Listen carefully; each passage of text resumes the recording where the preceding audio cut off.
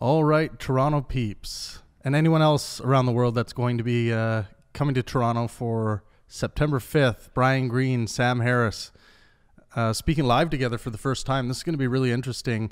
I'm really looking forward to them touching on uh, religion a little bit and God. I think they're going. There may be some fireworks here. Um, I recently spoke with Brian Greene on the podcast, and he didn't. He, he does not like the strident approach. He does. Uh, uh, such as the one that Dawkins takes when dealing with religious dogma.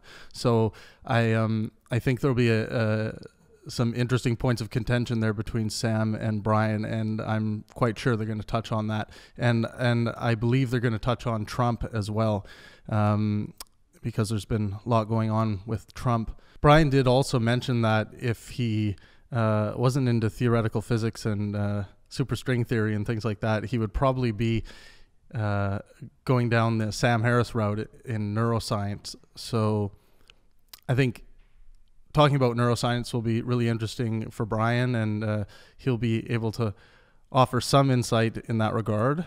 And I think just talking about uh, the vastness of the cosmos, science, and reason in general, it's just going to make for a really good uh, discussion and a, a geek out for science enthusiasts. So enjoy. Um, and uh, I'm going to see you guys there. I'll be there for sure.